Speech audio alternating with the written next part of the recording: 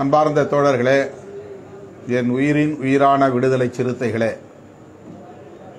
உங்கள் அனைவருக்கும் என்னுடைய பணிவார்ந்த வணக்கத்தை தெரிவித்துக் கொள்கிறேன். நாளை ஜூன் முப்பது மேலவளவு போராளிகளின் வீரவணக்க நாள்.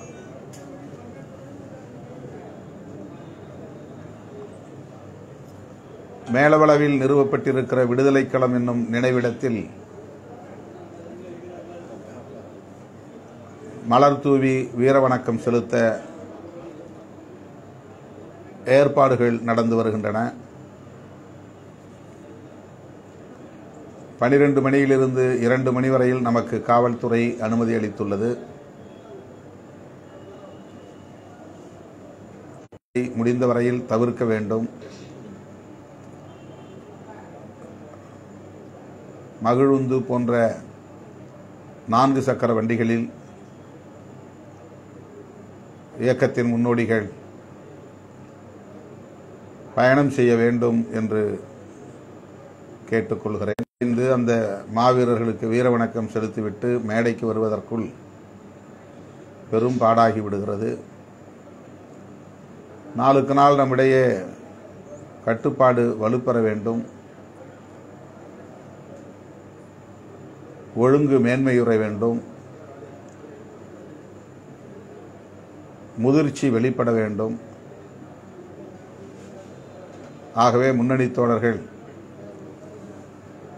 அவரவர் பகுதிகளிலிருந்து அழைத்து வரக்கூடிய பொதுமக்களின் போக்குவரத்துக்கு இடையூறு செய்யக்கூடிய வகையில் தோழர்களின் பயணம் அமையக்கூடாது. இடதுபுறமாகவே வர வேண்டும் ஒன்றன் பின் ஒன்றாக வர வேண்டும் பொறுமையாக வர வேண்டும் கட்டுப்பாடோடு வர வேண்டும் தேவையற்ற முழக்கங்களை எழுப்பாமல் வர வேண்டும் நினைவிடத்தில் வந்து முழக்கம் எழுப்பினால் போதும்.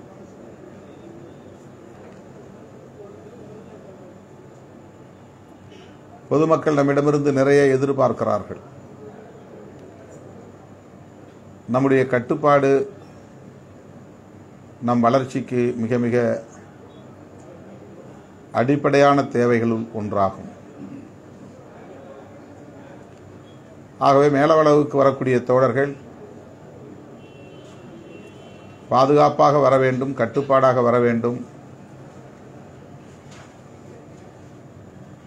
வரும் வழிகளில் கடைக்கண்ணிகளிலே நிறுத்துகிறேன் என்ற பெயரில் ஆங்காங்கே தோழர்கள் கும்பலாக இறங்கி நிற்பது தேநீர் அருந்துவது உணவு சாப்பிடுவது என்கிற காரணங்களை முன்வைத்து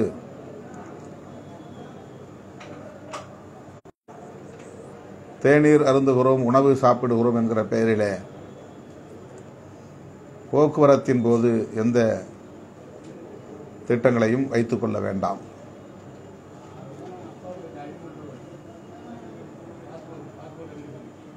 இந்த நிகழ்ச்சி சிறப்பாக நடந்தேற வேண்டும் வெற்றிகரமாக நடந்தேற வேண்டும். சிறப்பாக வெற்றிகரமாக நடந்தேற வேண்டுமானால் கட்டுப்பாடும் ஒழுங்கும் மிக மிக முக்கியமானது. நான் சரியாக பன்னிரண்டு மணிக்கு மேலவளவு வீரவணக்க நினைவிடத்திலே விடுதலை களத்திலே இருப்பேன்.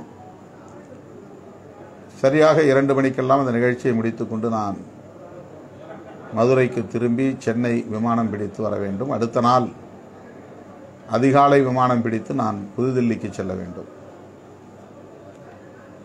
மதுரைக்கு வருகிறேன் என்றவுடன் ஆங்காங்கே தோழர்கள் தம் விருப்பம் போல் ஆளுக்கு ஒரு நிகழ்ச்சியை ஏற்பாடு செய்யக்கூடாது. அப்படி செய்தாலும் என்னால் அதிலே பங்கேற்க முடியாது. ஆகவே கட்சி வேலைதான் கட்சி பணிதான் கட்சி நிகழ்ச்சிதான் என்று நியாயப்படுத்தக்கூடாது. அதிலும் ஒரு ஒழுங்கு தேவை தலைமையின் ஒப்புதல் தேவை. கட்சி நிகழ்ச்சியாக இருந்தாலும் கூட முறைப்படி கட்சி தலைமையின் ஒப்புதலின் அடிப்படையில் அவற்றை எல்லாம் ஒருங்கிணைக்க வேண்டும். மதுரைக்கு வருகிறோம் என்றவுடன் அங்கே போக வேண்டும் இங்கே போக வேண்டும். என்று ஆளுக்கு ஒரு நிகழ்ச்சியை ஏற்பாடு செய்வதை தவிர்க்க வேண்டும். மாலை விமானம் பிடித்து நான்கு மணி அளவில் விமானம் பிடித்து நான் சென்னை திரும்ப வேண்டும். அன்று இரவே நான் புதுதில்லிக்கு திரும்பலாம் என்ற திட்டத்தோடும் இருக்கிறேன். ஆகவே தோழர்கள் மதுரையை சுற்றியுள்ள தோழர்கள் ஆளுக்கொரு நிகழ்ச்சி என்கிற ஏற்பாடுகளை தவிர்த்து விட வேண்டும். மேலவளவு நினைவிடத்தில் வீரவணக்கம் செலுத்துவது மட்டுமே முதன்மையான நிகழ்ச்சி. நேரத்தை பொறுத்து வழியிலே திரும்புகிற போது ஏதேனும் கொடியேற்று விழா படத்திறப்பு விழா நிகழ்ச்சிகள் இருந்தால் அதில் பங்கேற்க இயலும். அங்குமிங்கும் போகிற வழிதான் என்று இழுத்தடிக்க வேண்டாம் என்று மீண்டும் ஒரு முறை நான் அழுத்தமாக சொல்லிக்கொள்ள விரும்புகிறேன். மேலவளவு முருகேசன் உள்ளிட்ட அந்த ஏழு பேருடைய நினைவிடம் என்றாலும் கூட அந்த விடுதலை களம் என்கிற நினைவிடத்தில்தான் நாம் சென்னகரம்பட்டி அம்மாசி வேலு உலகப்பிச்சன்பட்டி சந்திரன் கத்தப்பட்டி மலைச்சாமி வஞ்சிநகரம் கந்தன் மற்றும் முடக்காத்தான் பாண்டியன் ஆகிய தோழர்களின் நினைவை போற்றி அவர்களுக்கும் வீரவணக்கம் செலுத்துகிற நிகழ்வாகத்தான் இந்த நிகழ்வை நாம் ஆண்டுதோறும் ஒருங்கிணைக்கிறோம்.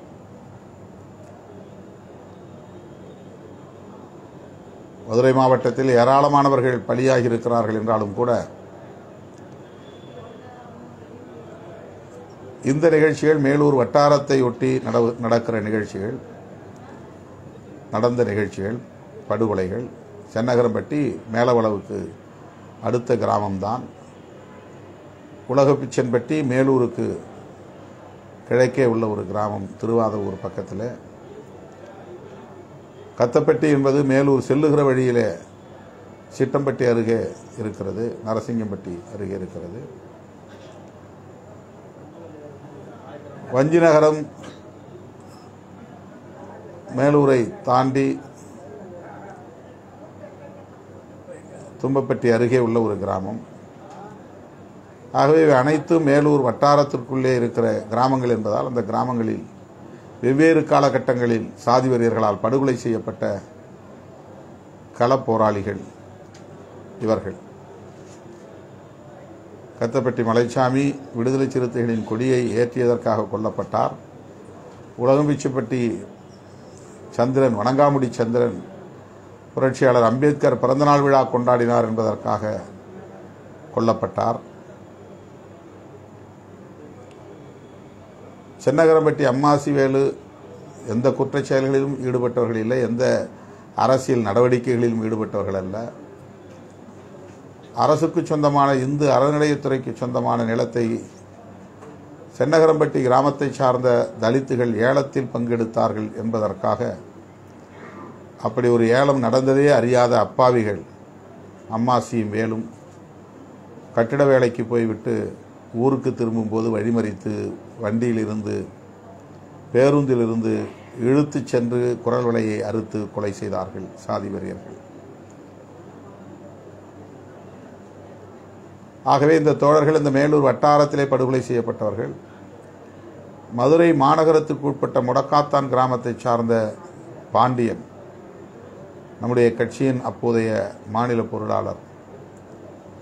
ஜூன் மாதம் பதினெட்டாம் தேதி கொல்லப்பட்டார் சாதி வெறியர்களால் ஜூன் பதினெட்டு ஜூன் முப்பது. ஜூன் மாதங்கள் மாதத்திலேயே இந்த நினைவு நாள்கள் வருவதை ஒட்டி ஜூன் பதினெட்டுக்கு தனியே முடக்காத்தான் கிராமத்திற்கு செல்ல இயலாத நிலையில் அவருடைய நினைவை போற்றும் வகையிலே ஜூன் முப்பதிலே நாம் இந்த மாவீரர்களின் நினைவு நாளோடு முடக்காத்தான் பாண்டியனின் வீரவணக்க நிகழ்வையும் நாம் இணைத்து நடத்துகிறோம். அருமை தோழர்களே ரெண்டாயிரத்தி எட்டில் நடைபெற்ற மண்ணுரிமை மாநாட்டின் போது மாநாடு முடிந்து வீடு திரும்புகிற வழியில் பூதக்குடியைச் சார்ந்த தோழர்கள் குமாரம் அருகே உள்ள நினைவு கூற கடமைப்பட்டிருக்கிறோம் என்றாலும் கூட மேலூர் வட்டாரத்தில் சாதி வீரர்களால் படுகொலை செய்யப்பட்ட தோழர்களுக்கும் ஜூன் மாதத்திலேயே படுகொலை செய்யப்பட்ட காரணத்தினால் தம்பி முடக்காத்தான் பாண்டியனுக்கும் சேர்த்து ஒரே நாளில் ஜூன் முப்பதாம் நாளில் மேளவளவிலே நாம் வீரவணக்கம் செலுத்துகிறோம் ஆண்டுதோறும் செலுத்துகிறோம். அத்தகைய நிகழ்வு நாளை நடைபெற உள்ளது. அந்த நிகழ்வில் மதுரை மற்றும் மதுரையைச் சுற்றியுள்ள மாவட்டங்களைச் சார்ந்த தோழர்கள் இயக்கத்தின் முன்னோடிகள் புதிய தலைமுறையைச் சார்ந்த இளம் சிறுத்தைகள் தவறாமல் பங்கேற்க வேண்டும். காவல்துறையின் வழிகாட்டுதலின்படி பயணத்தை ஒழுங்கு செய்து கொள்ள வேண்டும். கட்டுப்பாட்டை கடைபிடித்து நிகழ்ச்சியை சிறப்புற நடத்துவதற்கு ஒத்துழைக்க வேண்டும். ஆகவே என் உயிரின் உயிரான விடுதலை சிறுத்தைகளே தவறாமல் அந்த நிகழ்ச்சியில் பங்கேற்க வேண்டும் என அழைப்பு விடுப்பதோடு கட்டுப்பாடாகவும்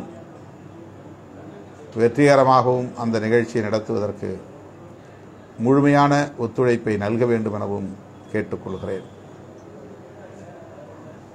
அண்மையிலே நாம் நடத்திய மாபெரும் ஆர்ப்பாட்டம் கள்ளக்குறிச்சி நச்சு சாராயு சாராய சாவுகளை கண்டிக்கிற வகையிலே நடத்திய ஆர்ப்பாட்டம்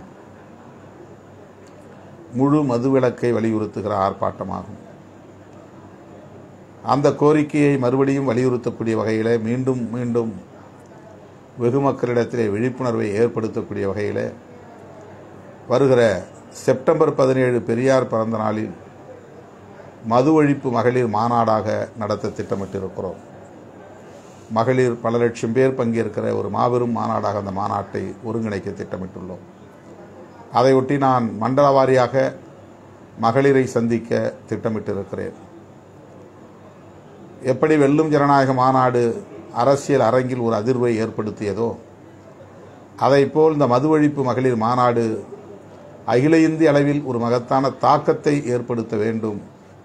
அதற்கேற்ப நாம் சிறப்பாக இந்த மாநாட்டுக்கான ஒருங்கிணைப்பு பணிகளை மேற்கொள்ள வேண்டும். ஜூன் ஜூலை மூன்றாம் தேதி வரையில் நாடாளுமன்றம் நடைபெற இருக்கிறது. பிறகு ஜூலை இருபத்தி ரெண்டாம் தேதி அடுத்த கூட்டத்தொடர் தொடங்க உள்ளது. இதற்கிடையிலே நான் மாவட்ட செயலாளர்கள் மற்றும் மாநில பொறுப்பாளர்களின் கலந்தாய்வு கூட்டத்தையும் நடத்த எண்ணியிருக்கிறேன். ஜூலை நாலாம் தேதியும் ஐந்தாம் தேதியும் விக்கிரவாண்டியிலே நடைபெறவுள்ள தேர்தல் பரப்புரை நிகழ்ச்சிகளில் நான் பங்கேற்கிறேன்.